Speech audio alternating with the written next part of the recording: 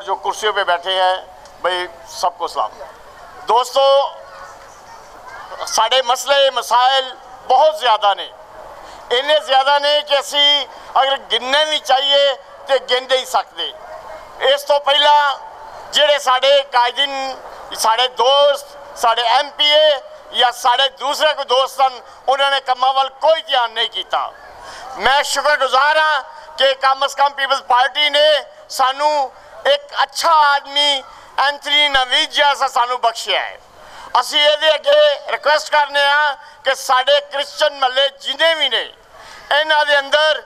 ਇੱਕ ਛੋਟੇ ਛੋਟੇ ਮਸਲੇ ਖਾਸ ਤੌਰ ਪਾਣੀ ਦੇ ਔਰ ਗਟਰ ਲਾਈਨਾਂ ਦੇ ਨੇ। ਦੂਜੀ ਇਹ ਵੇ ਕਿ ਸਾਡੇ ਕੁਝ ਲੋਕ ਅੱਬਲ ਤੇ ਨੇ ਪੜ੍ਹਦੇ ਨਹੀਂ ਅਸੀਂ, ਜੇ ਪੜ੍ਹ ਜਾਂਦੇ ਆ ਤੇ ਸਾਡੇ ਕੋਲ ਨੌਕਰੀਆਂ ਹੀ ਨਹੀਂ ਮਿਲਦੀਆਂ। ਕੁਝ ਨੌਕਰੀਆਂ ਅਗਰ ਮਿਲਦੀਆਂ ਨੇ ਤੇ ਰਿਸ਼ਵਤਾਂ ਇੰਨੀਆਂ ਕੁ ਹੁੰਦੀਆਂ ਨੇ ਅਸੀਂ ਦੇ ਨਹੀਂ ਸਕਦੇ ਮੈਂ ਆਪਣੇ ਦੋਸਤ ਅੱਗੇ ਇਹ ਮਿਹਨਤ ਕਰਾਂਗਾ ਕਿ ਭਾਈ ਅਗਰ ਤੁਹਾਡੇ ਕੋਲ ਕੋਈ ਨੌਕਰੀ ਆਉਣ ਤੇ ਤੁਸੀਂ ਇਹਨਾਂ ਗਰੀਬਾਂ ਦਾ ਵੀ ਖਿਆਲ ਰੱਖਿਓ ਜੀ शुक्रिया ये थे हमारे क्रिस्टोफर भट्टी भाई जो कि